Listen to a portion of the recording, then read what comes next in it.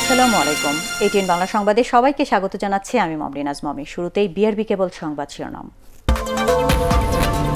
কালো টাকার বিনিয়োগ নিয়ে দুদক বা অন্য কেউ প্রশ্ন তুলতে পারবেন না, বললেন এনবিআর চেয়ারম্যান। একশোটি ভেট আদায় মেশিন চালু।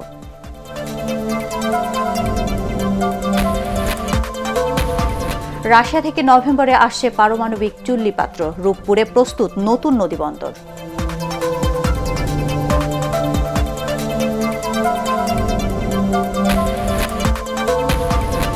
রোহিঙ্গাদের পালিয়ে আসার তিন বছর আজ। একজনও ফেরত যায়নি মিয়ানমার। করোনায় থেমে গেছে প্রত্যাবাসন উদ্যোগ।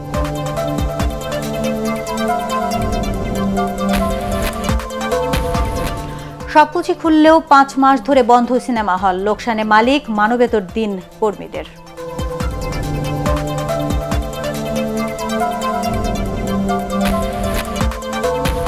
এবং চলে গেলেন মুক্তিযুদ্ধের sector commander C R Dutta Bir Uttom.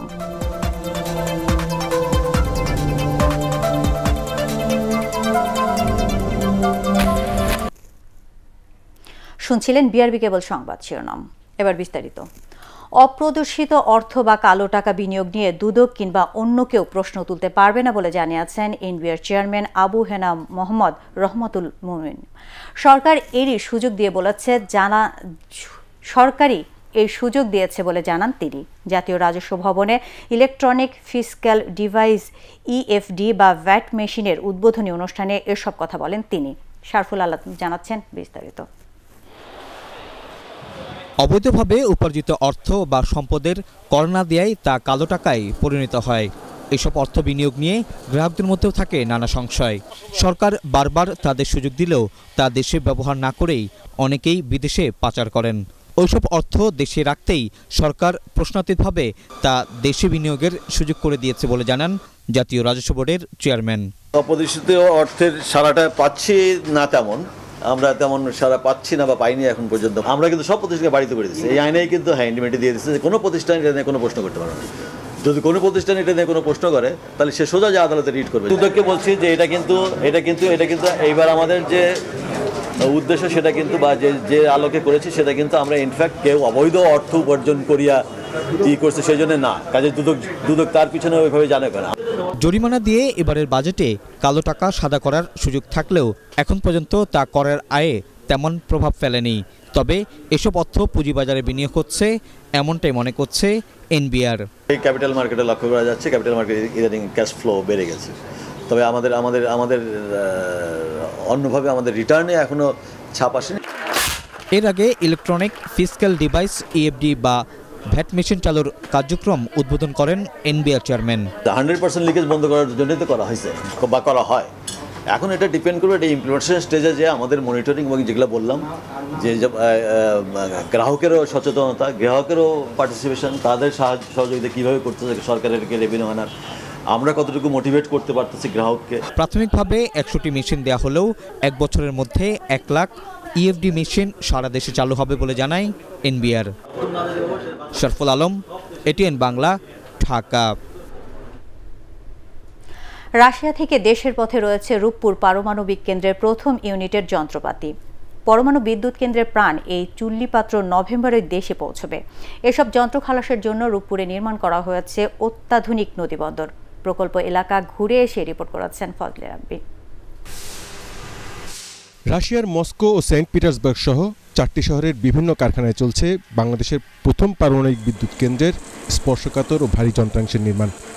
রূপপুরের দুটি পরমাণু চুল্লির প্রথম ইউনিটের রিয়াক্টর প্রেশার ভেসেল ও চারটি স্টিম জেনারেটর নির্মাণ শেষ হয়েছে। বিশ আগস্ট এদেশের উদ্দেশ্যে পাঠানো হয়েছে সেগুলো। মূল পাঁচটি অংশ যে রিয়েক্টারে অল সবগুলি ম্যানুফ্যাকচারিং হয়ে হয়ে যাওয়ার পথে প্রায় নাইনটি পার্সেন্ট শিপমেন্টের পথে। আমরা আশা করছি যে রিয়েক্টারের ওয়ান অফ দ্য মাইলস্টোন আমাদের প্রেশার ভেসার ইনস্টলেশন করা আমরা টার্গেট করছি at the end of last ডেতে অথবা আগামী বছর শুরুতে আমরা এটা করব। চোদ্দ হাজার কিলোমিটার সমুদ্রপথ পাড়ি দিয়ে নভেম্বরে পরমাণু বিদ্যুৎ কেন্দ্রের বিশাল আকৃতির ওই ওজনের যন্ত্রাংশগুলো চট্টগ্রাম ও মোংলা বন্দরে পৌঁছবে। তারপর নদীপথ রূপপুর।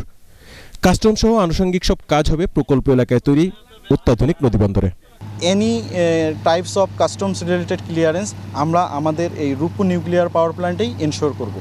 এর ফলে হবে কি কনস্ট্রাকশন শিডিউলের সাথে আমাদের যে ইকুইপমেন্ট আসার যে সেনক্রোনাইজেশনটা আমাদের থাকবে এবং আমরা আমাদের শিডিউলটা মিট আপ করতে পারব। বিজ্ঞান ও প্রযুক্তি মন্ত্রী জানালেন রূপপুর পারমাণবিক বিদ্যুৎ কেন্দ্র নির্মাণে নিরাপত্তার বিষয়টিকে সর্বোচ্চ গুরুত্ব দেওয়া হচ্ছে।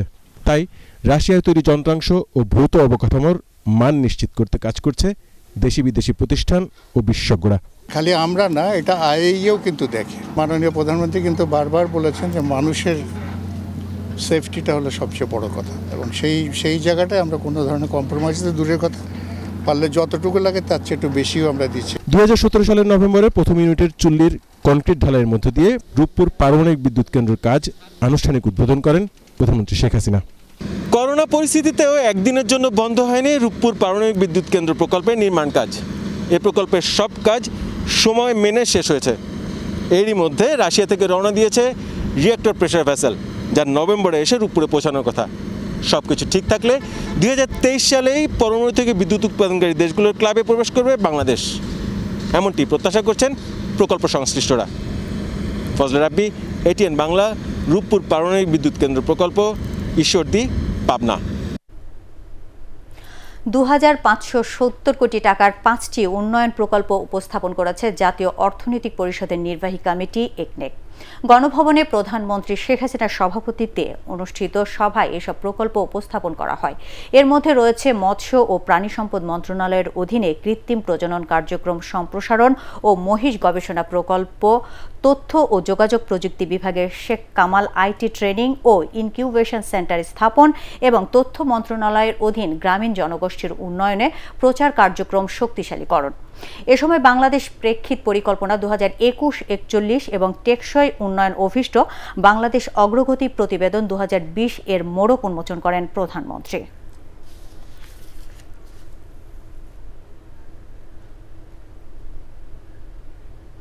মিয়ানমার থেকে পালিয়ে আসা রোহিঙ্গাদের বাংলাদেশে আশ্রয় নেয়ার তিন বছর আজ। এর আগে জাতীয় আন্তর্জাতিক পর্যায়ে রোহিঙ্গা প্রত্যাবাসন নিয়ে আলোচনা হলেও করোনা দুর্যোগে তা থেমে গেছে। আবার কবে সেই উদ্যোগ শুরু হবে তা অনিশ্চিত। কক্সবাজার থেকে মজ্জেম হোসেন শাকিলের পাঠানো রিপোর্ট জানাচ্ছেন জাহিদুল আলম। মিয়ানমারের সরকারি বাহিনী নির্যাতনের শিকার হয়ে দু হাজার সতেরো সালের পঁচিশ আগস্ট থেকে এই পর্যন্ত বাংলাদেশে পালিয়ে আসে দশ লাখেরও বেশি রোহিঙ্গা। এই ঘটনার পর তাদের প্রত্যাবাসনের জন্য গঠিত জয়েন্ট ওয়ার্কিং গ্রুপের দফায় দফায় বৈঠক ও কূটনৈতিক তৎপরতা অব্যাহত থাকলেও একজন রোহিঙ্গাও আর মিয়ানমারে ফিরে যাননি। জাতীয়তা সহ তাদের মৌলিক অধিকারগুলো নিশ্চিত হলেই নিজ দেশে ফিরে যাবেন বলে জানান তারা।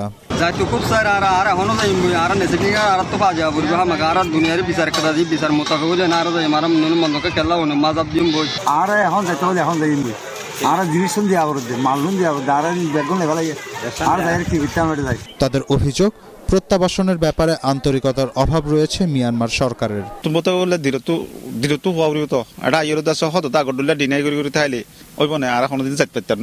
বিশ্বব্যাপী করোনা ভাইরাসের সংক্রমণে রোহিঙ্গাদের ফিরিয়ে দেওয়ার উদ্যোগ পুরোপুরি থমকে গেছে। তবে শরণার্থী ত্রাণ ও প্রত্যাবাসন কমিশনার বলছেন প্রত্যাবাসনই সরকারের প্রথম অগ্রাধিকার। আমরা চাই যে আমাদের এক নম্বর প্রায়োরিটি প্রত্যাবাসন এবং এই প্রত্যাবাসনটা যেন অতি শীঘ্রই শুরু করা যায়। এবং এই মিয়ানমার এই রাখাইন এই রোহিঙ্গা রিফিউজিদেরকে যেন তাদের স্বদেশে আমরা পাঠিয়ে সসম্মানে পাঠাতে পারি এই ব্যাপারে সরকার সদা সচেষ্ট। কক্সবাজার জেলা প্রশাসক জানান স্বাস্থ্যবিধি বিবেচনায় এখন কোনো দিবসেই বড় সমাবেশের অনুমতি পাবেন না রোহিঙ্গারা। এই ধরনের বৃহৎ কোনো সমাবেশ করার কোনো সুযোগ থাকবে না। তবে নিশ্চয়ই তারা যেহেতু নিপীড়িত নির্যাতিত তারা নিয়ন্ত্রিতভাবে খুব সীমিত পরিসরে তাদের এই বিষয়টা বিশ্ববাসীর দৃষ্টি আকর্ষণ করতে পারবে। তিন বছরেও নিজ দেশে ফিরতে না পারায় রোহিঙ্গাদের মধ্যে বাড়ছে হতাশা ও অপরাধ প্রবণতা। নাগরিকত্ব নিশ্চিত, নির্যাতনের বিচার সহ প্রাপ্য অধিকার নিয়ে নিজ দেশে ফিরতে চান তারা। জাহিদুল আলম এটিএন বাংলা। রোহিঙ্গা সংকট সমাধানে সরকারের কূটনৈতিক প্রচেষ্টা জোরদার করেছে বলে জানিয়েছেন আওয়ামী লীগ সাধারণ সম্পাদক ওবায়দুল কাদের। রোহিঙ্গা শরণার্থীদের নিজ দেশে ফিরিয়ে নিতে মিয়ানমারের ওপর চাপ সৃষ্টি করতে আন্তর্জাতিক সম্প্রদায়ের প্রতি আহ্বান জানান তিনি।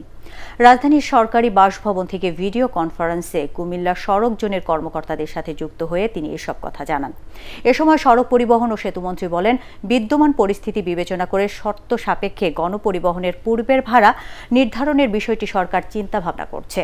সেপ্টেম্বরের প্রথম সপ্তাহে পূর্বের ভাড়া বহাল হতে পারে বলে জানান ওবায়দুল কাদের।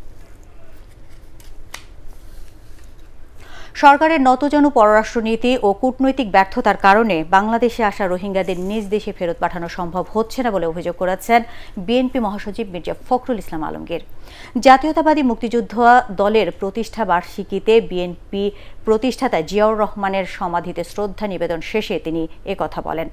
জিয়া পরিবারকে রাজনীতি থেকে সরিয়ে দিতেই পনেরো আগস্ট বঙ্গবন্ধুর হত্যা ও একুশ আগস্ট গ্রেনেড হামলায় বিএনপিকে জড়ানো হচ্ছে বলে অভিযোগ করেন মির্জা ফখরুল।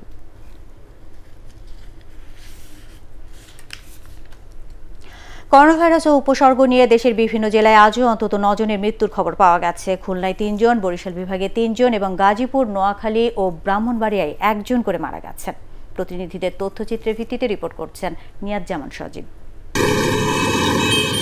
করোনা ভাইরাসে আক্রান্ত হয়ে প্রতিদিনই দেশের বিভিন্ন জেলায় মারা যাচ্ছে মানুষ। তারপরও সবাই পুরোপুরি স্বাস্থ্যবিধি মানছেন না।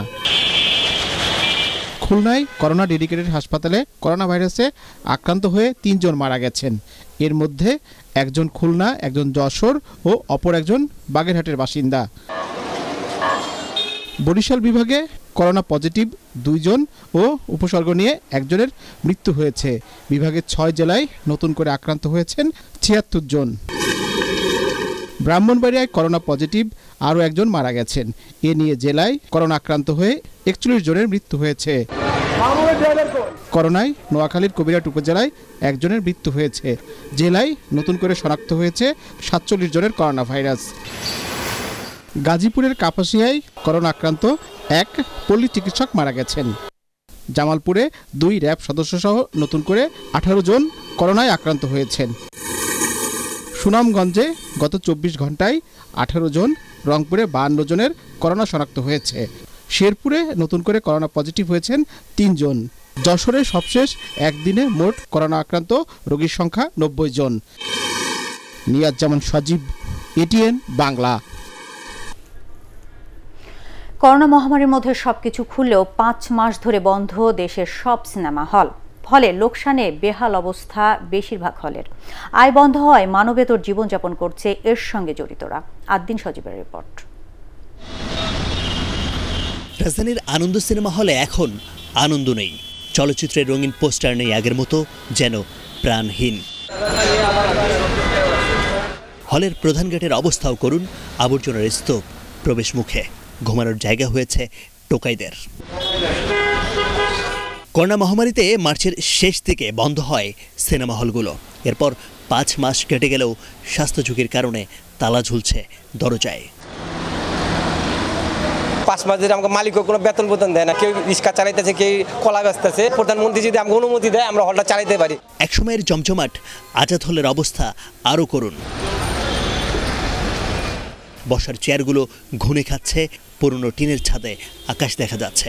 হলে বসে সিনেমা দেখার পরিবেশও নেই পরিতোষবাবু এই সিনেমা হলের সাথে জড়িত বিয়াল্লিশ বছর। তিনি বলছেন হল খোলা থাকলে জীবন চলে আর বন্ধ হলে বাঁচাই কঠিন। দেশের সিনেমা হলগুলোতে চাকরি করেন কয়েক হাজার মানুষ। করোনায় এক মাসেরও বেতন পাননি তাদের বেশিরভাগ। মাসে ভাড়া হলো চার হাজার টাকা করে। একটা করে দিন এখন পাঁচ মাস ধরে। কারণ বাড়িওয়ালা রাইতের বেলা গালি চিলাচিলি করে। এই কারণে রাইতে মাঝে মধ্যে হলও থাকে। সারা বাংলাদেশে যত হল আছে সব খুলে দাও খুলে দিলে আমাদের শ্রমিকরা অন্তত একটু বাঁচবো। প্রযুক্তির বিকাশ আর মানসম্মত চলচ্চিত্র সংকটে এমনিতেই নিবু নিবু সিনেমা হল। এখন টিকে আছে নব্বইটির মতো। হল মালিক সমিতির চিঠি মন্ত্রী পরিষদে পাঠিয়েছেন। মন্ত্রী পরিষদের থেকে এখনও কোনো হল খোলার ব্যাপারে কোনো সিদ্ধান্ত হয়নি। নির্মাতা কমে গেছে আপনার প্রডিউসাররা কমে গেছে। এই- এই অবস্থা থাকলে আমরা মনে করি যে এই এই ইন্ডাস্ট্রিটা বন্ধ হয়ে যাবে কিনা আমার খুব ভয় খুব ভয় মনে হচ্ছে। এই অবস্থায় সরকারি সিদ্ধান্তের অপেক্ষায় তারা। একটা সময় ঢাকার অভিজাত মানুষের বিনোদনের অন্যতম স্থান ছিল এসব সিনেমা হল। কিন্তু হাতের মুঠোয় পুরো পৃথিবীর সিনেমা দেখার সুযোগ তৈরি হওয়ায় দিনে দিনে দর্শক কমেছে, এসব সিনেমা হলে অবস্থা করুণ হয়েছে এই হলগুলোর গত দশ বছরে এক হাজারটি সিনেমা হল থেকে কমে এখন বাংলাদেশের সিনেমা হলের সংখ্যা নব্বইটির মতো। করোনার ধাক্কা সামলে কতটি সিনেমা হল শেষ পর্যন্ত টিকে থাকে সেটি নিয়ে প্রশ্ন তৈরি হয়েছে অনেকের মধ্যে। আদিন সজীব এটিএন বাংলা ঢাকা। চট্টগ্রাম উন্নয়ন কর্তৃপক্ষ সিডিএ চেয়ারম্যান জহিরুল আলম দোভাসের সাথে সৌজন্য সাক্ষাৎ করেছেন ATN Bangla chairman doctor Mahfuzur Rahman. সোমবার চট্টগ্রাম উন্নয়ন কর্তৃপক্ষের কার্যালয়ে অনুষ্ঠিত সাক্ষাতে নগরীর উন্নয়নে নেয়া বিভিন্ন প্রকল্পের অগ্রগতি নিয়ে তাদের মধ্যে আলোচনা হয়। চট্টগ্রামের বিভিন্ন উন্নয়ন প্রকল্পে সরকারি সহায়তার পাশাপাশি বেসরকারি ও বিদেশি বিনিয়োগকারীদের আকৃষ্ট করতে ডক্টর মাহফুজুর রহমানের সহযোগিতা কামনা করেন সিডিএ চেয়ারম্যান। এ সময় সিডিএ চেয়ারম্যানকে সব ধরনের সহযোগিতার আশ্বাস দেন এটিএন বাংলা চেয়ারম্যান।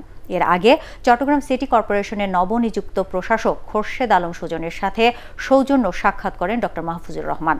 এ সময় চট্টগ্রামকে আরও সুন্দর, আকর্ষণীয় এবং পর্যটক আকৃষ্ট করতে এটিএন পরিবারের সহযোগিতা চান খোরশেদ আলম সুজন।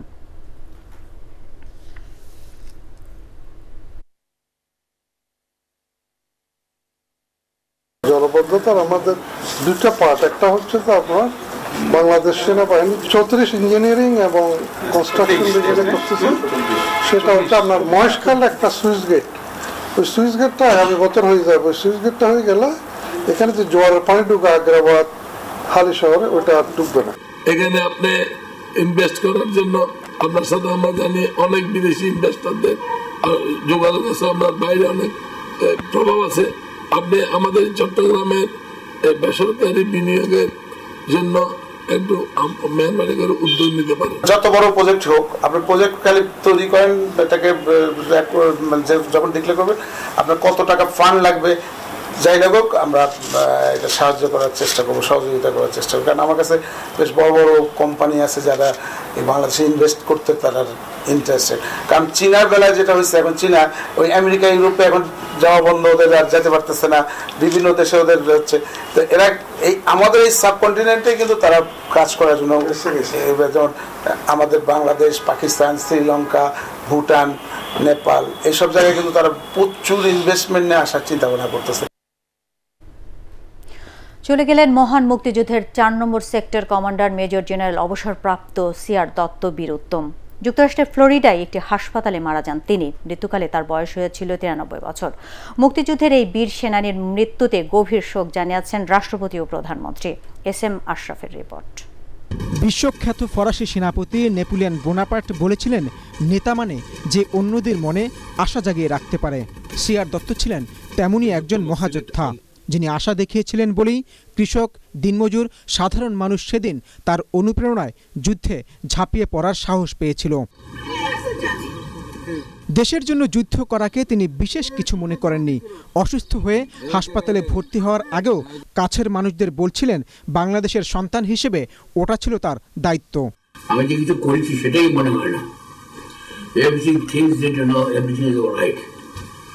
করেছি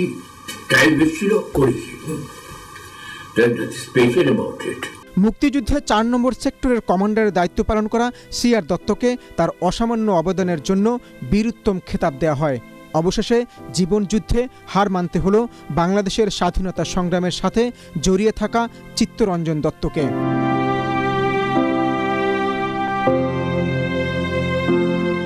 তিনি স্বপ্ন দেখেছিলেন এক অসাম্প্রদায়িক বাংলাদেশের। সবাইকে এক ছাতার নিচে আনতে গড়েছিলেন বাংলাদেশ হিন্দু বৌদ্ধ খ্রিস্টান ঐক্য পরিষদ। উনিশশো সাতাশ সালের এক জানুয়ারি ভারতের শিলংয়ে জন্ম নেয়া সিআর দত্তের পৈতৃক বাড়ি হবিগঞ্জের চুনারঘাট উপজেলায়। পরিবারের সদস্যরা জানান, মৃত্যুর আগে তার শেষ ইচ্ছে ছিল দেশের মাটিতেই মরদেহ সৎকার করার। S M Ashraf ATN Bangla. এবার জানাব শেয়ার বাজারের খবর।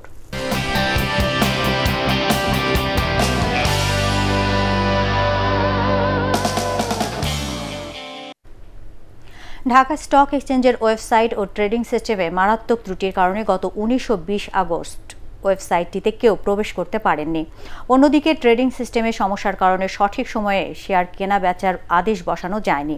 এতে বিনিয়োগকারীরা ক্ষতিগ্রস্ত হয়েছেন। পুঁজিবাজারের বৃহত্তর স্বার্থে বিষয়টি খতিয়ে দেখার সিদ্ধান্ত নিয়েছে বিএসইসি।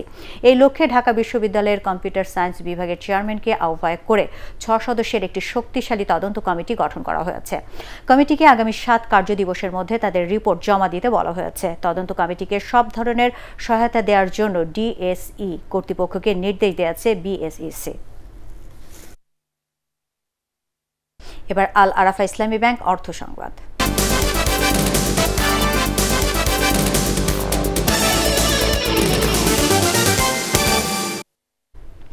বগুড়ার নন্দীগ্রামে বিএডিসি সেচ স্কিমের আওতায় উপকারভোগী কৃষকদের মাঝে আউশ সেচ প্রণোদনা চেক ও ফলজ গাছের চারা বিতরণ করা হয়েছে। এই উপলক্ষে উপজেলার কাঁচুর গ্রামে এক আলোচনা সভা অনুষ্ঠিত হয়। বগুড়া জেলা প্রশাসক জিয়াউল হক, কৃষি উন্নয়ন কর্পোরেশনের বগুড়ার রিজিয়ন এর নির্বাহী প্রকৌশলী মনিরুল ইসলাম ও নন্দীগ্রাম উপজেলা চেয়ারম্যান রেজাউল করিম এ সময় উপস্থিত ছিলেন। এবার আন্তর্জাতিক সংবাদ।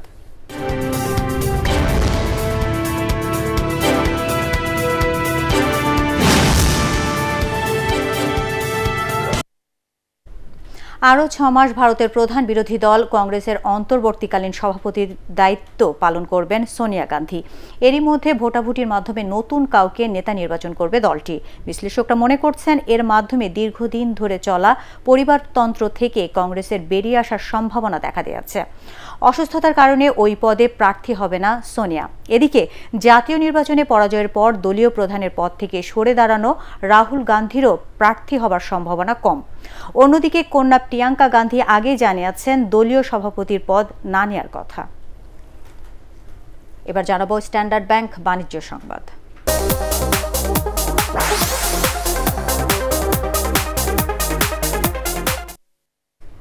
হতদরিদ্রদের টেকসই উন্নয়নে ঠাকুরগাঁয়ের দুই শতাধিক পরিবারের মাঝে ঘরসহ হাঁস, মুরগি ও খাদ্য বিতরণ করা হয়েছে। উন্নয়ন টেকসই eco social development organisation ESDO এর উদ্যোগে পিকেএসএফ এর সহযোগিতায় প্রতিটি পরিবারকে ঘর, খাদ্য, ঔষধ, দশটি দেশি মুরগি ও পাঁচটি করে হাঁস দেওয়া হয়। সদর উপজেলা নির্বাহী অফিসার আবদুল্লাহ আল মামুন ও উপজেলার প্রাণী সম্পদ কর্মকর্তা মামুনুর রশিদ সহ অন্যান্যরা এ সময় উপস্থিত ছিলেন।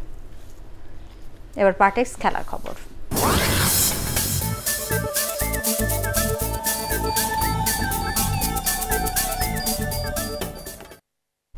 সাউদাম্পটনের তৃতীয় টেস্ট জিততে শেষ দিন ইংল্যান্ডের দরকার আট উইকেট। অন্যদিকে ইনিংস পরাজয় এড়াতে পাকিস্তানের প্রয়োজন দুশো দশ রান।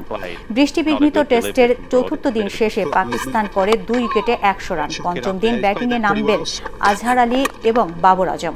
এর আগে চতুর্থ দিন ফলো অনে পরে দ্বিতীয় ইনিংস শুরু করে পাকিস্তান।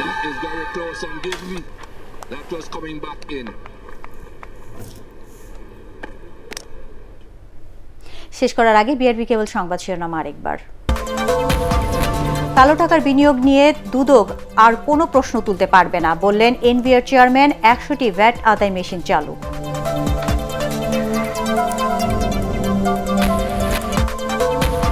রাশিয়া থেকে নভেম্বরে আসছে পারমাণবিক চুল্লিপাত্র, রূপপুরে প্রস্তুত নতুন নদীবন্দর।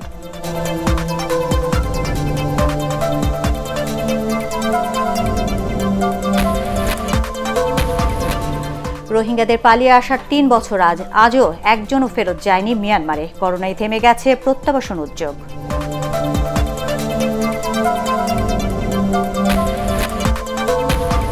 সবকিছু খুললেও পাঁচ মাস ধরে বন্ধ সিনেমা হল। লোকসানে মালিক মানবেতর দিন কর্মীদের।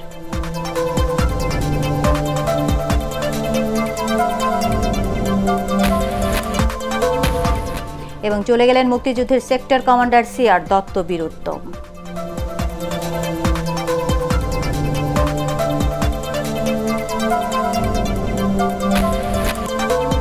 দর্শক, পরবর্তী সংবাদ দেখার আমন্ত্রণ জানিয়ে এখনকার মতো শেষ করছি। করোনা ভাইরাস থেকে সুরক্ষিত রাখতে মাস্ক পরুন, বারবার হাত পরিষ্কার করুন।